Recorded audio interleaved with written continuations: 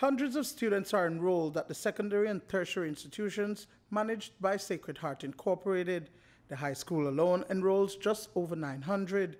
But even before a mandatory distance learning strategy was put in place by the government due to the COVID 19 pandemic, the institution had hybrid sessions. So transitioning to completely remote classes was smooth, but still not without its challenges. The high school has always been face to face and now moving on to online teaching, it did definitely entail a lot of investment in technology equipment in order for our teachers to be able to impart online classes. And more than the equipment also was a training that had to come along with that. At the sixth form level, nevertheless, at the junior college, the, some of our teachers were already doing some online classes using Moodle or Canvas, you know, depending on, on, on the, their preferred platform. However, most of the classes were hybrid. Sacred Heart did not discontinue its scholarship assistance program, but had to reduce its contribution. Upwards of 90% of the student population is involved in virtual classes. The teachers have been trained to ensure that they remain engaged in the sessions. For students, the transition from the traditional way of learning was challenging at first, but they have been able to adapt. It's more convenient in terms of just being able to log on to your class.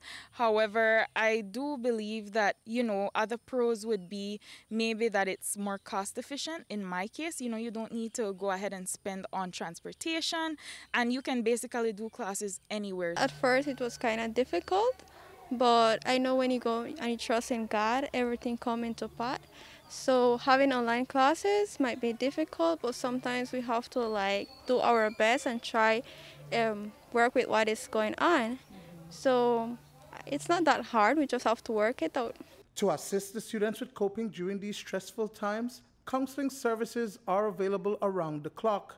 This helps with their mental health and addresses uncertainties that may arise from this new way of learning.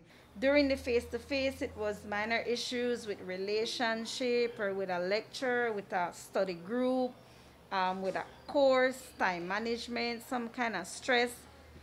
But during the pandemic, the cases changed completely to those, I call it daily life stressors to suicide, depression, anxiety, sleep disorders.